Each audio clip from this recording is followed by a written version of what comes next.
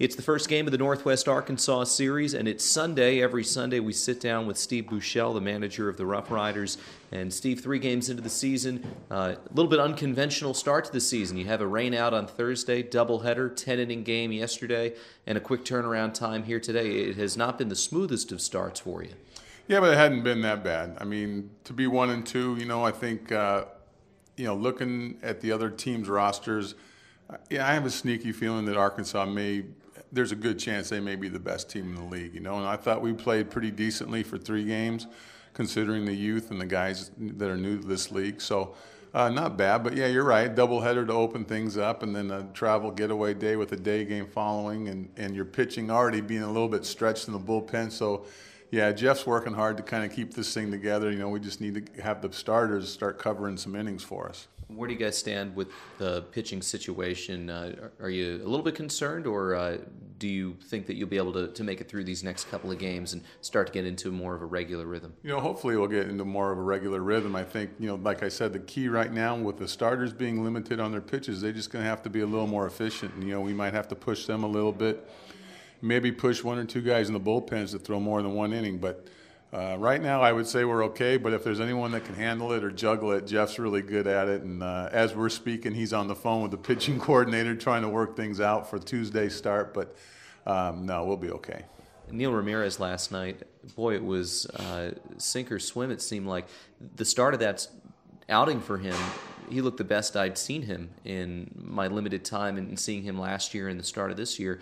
And then all of a sudden, things just completely fell apart for him in that fourth inning. Yeah, I think you, you said it perfectly. It may be the best three innings I've seen him throw too. You know, back to back to back, and then uh, the fourth inning, you know, the leadoff double, and then the sac bunt where he fails to cover home plate. I think that may have rattled him a little bit, and then he gets two outs.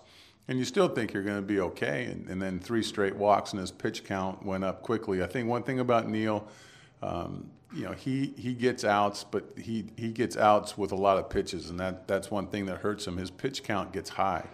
So, uh, but yeah, if, I agree 100%. Three innings of really good pitching, and then the wheels just came off in the fourth. So, uh, hopefully, a good good sign of things to come.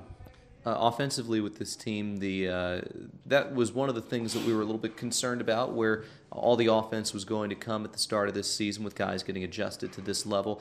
Uh, obviously the results wise, not tearing it up, but do you like the approaches that guys are taking, the at bats that they're having? Yeah, I think so. And you can tell the, the young kids, even the opening night, they're not used to seeing that two one or three one changeup or curveball. You know, these guys that are a little bit more advanced now are going to throw off speed stuff for strikes, and um, the young guys will take time for them to adjust to it. And you can see that.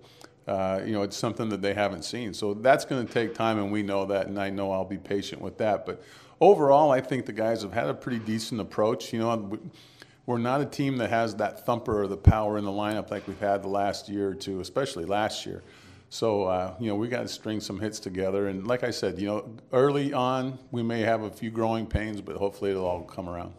Finally, Boo, last night in the big league game, Leury Garcia made his major league debut. He pinch hit in the eighth inning, struck out in Lance Berkman's spot. Uh, he becomes the 96th former Rough Rider to make it up to the big leagues. And from last year's team, you just look, he's the sixth. And when Nick Tepesch makes his start in a couple of days, he'll be the seventh player from the 2012 Rough Riders. First, just a little bit about Leury. And uh, again, what a special group that was last year. Yeah, last year's group was definitely special. I think to send four guys up and to have a couple breaking in. Uh, this year. You know, it, it, says a lot about the, the youth and the and the talent that the Rangers have in the organization. So um, certainly, we take pride in that because they're former Rough Riders, but um, I'm more happy for those guys that they, have worked hard and, and, have been able to make it to the big leagues. And a good example for all the guys in that clubhouse to see. You can move up pretty quickly if you if you perform here. Well, Boo, thanks a lot. Look forward to seeing you guys out there in this series. All right, thanks, Alex. That's Steve Buechele. We're back after this on the Rough Riders Baseball Network.